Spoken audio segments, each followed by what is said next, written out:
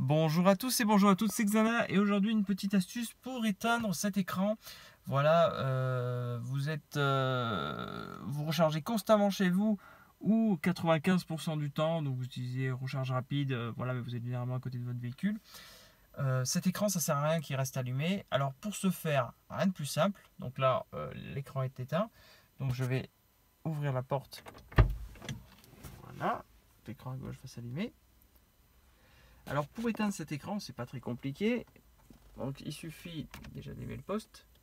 Voilà, vous faites menu, véhicule, euh, réglage, éteindre le tableau de bord pendant la charge. Vous cliquez dessus.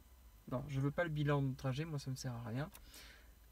Voilà. Alors si vous demandez ce que c'est le bilan de trajet, c'est le truc que vous voyez à la fin, ça, euh, bilan de trajet.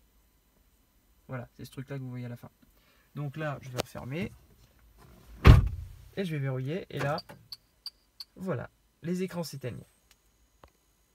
Donc voilà j'espère que cette petite vidéo vous aura aidé à éteindre cet écran. Moi je trouve qu'il sert à rien à rester allumé.